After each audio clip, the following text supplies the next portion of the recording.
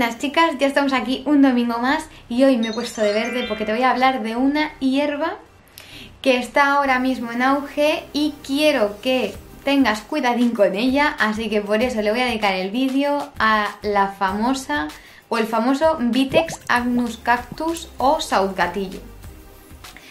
Esta planta es muy interesante porque primero, antes de seguir, quiero que veas el vídeo del eje gonadal, el que ya te expliqué hace algunas semanas, y mm, una vez visto, te vengas otra vez a este vídeo. ¿Por qué? Porque para entender exactamente cómo funcionan sus compuestos activos, necesito que entiendas cómo se comunica tu cerebro con tus ovarios.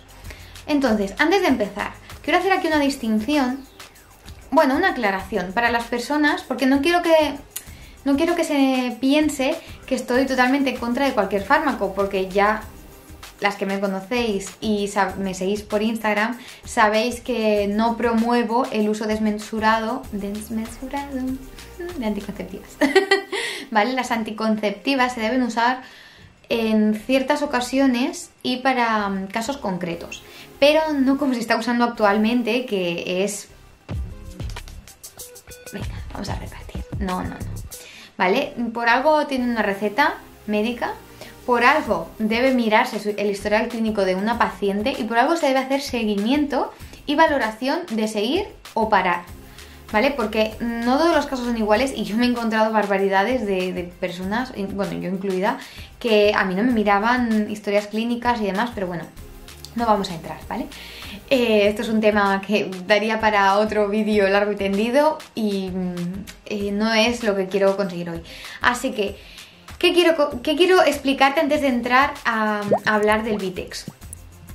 Todo lo que nos tomamos, ya sea en formato fármaco o como fitoterapia o como hemopatía, es química, ¿vale? Podemos hablar de fitoterapia, de homopatía, de farmacología, Mm, pero quiero que se entienda que absolutamente todo, todo, todo lo que encontramos en una farmacia, en un herbolario o lo compramos en internet, todo lo que viene en bote y viene en pastilla viene de la naturaleza. ¿Vale? Y todo lo que viene de naturaleza y se aísla, etcétera, y tomamos después, tiene procesos químicos. Y mm, todo tiene unos efectos secundarios, todo tiene unas dosis requeridas y estudiadas, a veces no estudiadas y otras veces mm, sí, ¿vale? Entonces hay que ir con mucho cuidado con lo que se toma y e informarse bien antes de hacerlo, ¿vale? Para ver si es adecuado para nosotras. También pensar que yo me considero un profesional de este sector, pero no paro de aprender y no paro de informarme para aportar en consulta lo mejor de mí. Bueno, en consulta, en YouTube, en Instagram, en la web, porque es muy importante mantenerse actualizado. Pensad que cada año, cada mes salen nuevos, mm, nuevos papers, nuevos em, artículos científicos que nos desmitifican muchas cosas. Entonces es muy importante renovarse, porque lo que ayer era verdad hoy es mentira. Y al revés, lo que ayer era mentira hoy es verdad. Entonces, veréis, a veces cambio pautas de repente y explico por qué, porque yo misma he podido mm, informarme en un tiempo sobre ciertas cosas, pero luego resulta que ahora se hace de otra forma y los resultados son mucho mejores. Entonces, no hay una verdad absoluta y siempre vamos a estar actualizando todo lo que podamos, ¿vale? Entonces, em, como os digo, yo promuevo la fitoterapia en primer lugar y siempre que sea recomendable antes que acudir a un fármaco ¿Y cuál es la diferencia entre estas mm, dos vertientes?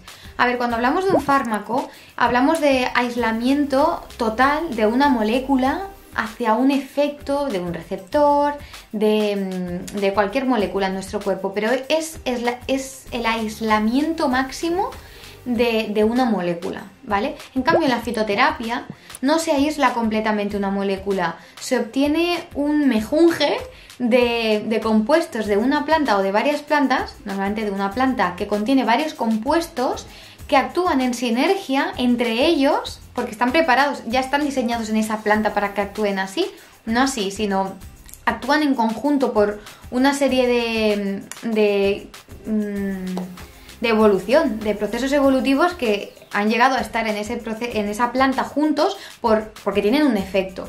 Entonces, es lo que se administra en fitoterapia cuando, por ejemplo, cuando administramos Vitex. Ahora lo entenderéis con el ejemplo del Vitex.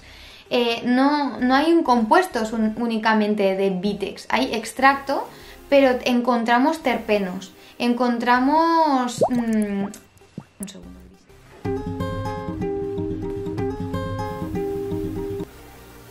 ¿Cómo actúa el Vitex? El Vitex lo que hace es ir directamente a los receptores de dopamina que están en el hipotálamo.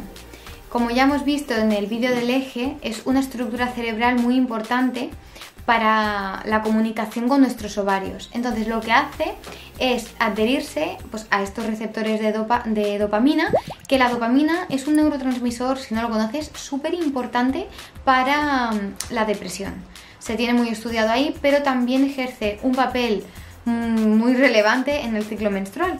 Entonces, eh, ¿cómo actúa? Pues mm, ejerce diferentes acciones. Como todo lo que interacciona en nuestro cuerpo, tiene varias cositas que tocar y unos componentes del Vitex lo que hacen es adherirse a estas estructuras y en consecuencia, uno, disminuye la producción y la, mm, la síntesis o sea, la producción y la liberación, perdón, de prolactina. Entonces es muy interesante para personas que tengan hiperprolactinemia. De hecho, hay estudios que lo comparan con fármacos que se recetan con este mismo fin. Entonces, pero bueno, aquí hay que consultarlo bien con el médico. En segundo lugar, vemos cómo se regula el ratio FSH-LH, cómo cuando, mm, eh, sobre todo en mujeres, sobre todo no, en mujeres que tienen una LH disminuida y por tanto la aumenta y una FSH elevada y por tanto la disminuye. Entonces mm, crea un equilibrio entre estas dos. Aquí es importante que haga el inciso de que si tienes la LH elevada, habría que vigilar porque estaría contraindicado en tu caso, ¿vale? Después, eh, en tercer lugar, existen componentes de, que, no son los mismos que en el caso anterior, que lo que hacen es promover la fabricación de opiáceos endógenos, que si no los conoces, seguro que las endorfinas sí que te suenan. Y lo que hacen es promover la disminución del dolor general y el bienestar. Entonces es muy interesante esta planta para el síndrome premenstrual, para los dolores esos insufribles que tenemos. Pero de nuevo, consúltalo con tu profesional de confianza porque tienen efectos secundarios si no se toman correctamente y en las dosis adecuadas. Está concretamente el Vitex, Agnus cactus, ¿vale? Porque hay más de 200 especies de Vitex. Entonces, eh, concretamente Agnus cactus. Y por último, la que me gustaría también remarcarte es la actividad fitoestrogénica que tienen. Mm, simulan ciertos componentes, como ya te he dicho, son un conjunto de varios y diferentes, eh, uno de ellos pues promueve la actividad fitoestrogénica, que si tenemos niveles mm, disminuidos de estradiol o de otros estrógenos, pues también nos vendrá muy bien. Pero de nuevo, si están elevados, pues hay que tener cuidado porque mm, sería todo lo contrario a lo que queremos. Entonces, creando toda esta... Estos son los principales efectos, pero creando toda esta armonía, lo que se promueve es una correcta ovulación y mm, baile entre estas hormonas que tanto nos influyen en el ciclo menstrual, estrógenos, progesterona, gracias a la LH y la FSH corregidas. Si esto no funciona, el ciclo no funciona. Entonces Vitex ayuda muchísimo a crear esta armonía y a promover la conexión de nuevo cuando han habido periodos largos de anticonceptivas entre tu cerebro y tus gonadas tus ovarios. Por eso te decía que me interesaba mucho que primero vieses el vídeo del eje, para entender esto. Si no lo has visto, te vuelvo a remitir a que lo veas. Em, ¿Cómo no? Me quedo. Por último, quiero acabar el vídeo diciéndote que si tomas anticonceptivas está totalmente contraindicado que tomes Vitex. Si estás en periodo de lactancia también está totalmente contraindicado. Así que, de nuevo, por favor, y si estás embarazada igual. Así que ten cuidado porque no todo el mundo debe tomar este tipo de, planta, ¿vale? Si quieres saber más beneficios puedes ir a mi post de Instagram, que allí te hablo sobre más cositas y además resuelvo nueve preguntas muy frecuentes sobre esta planta y próximamente, si no lo he hecho ya, antes de publicar este vídeo voy a crear un post en Instagram también con diferentes cositas que me habéis preguntado. Así que sin más dilación, espero que tengáis una feliz semana. No olvides dar a la campanita y suscribirte, seguirme en Instagram o suscribirte también al blog. Y de nuevo, que vaya súper bien la semana. Mucha energía y un besito enorme. Ay, que me quedo sin batería, no me lo puedo creer.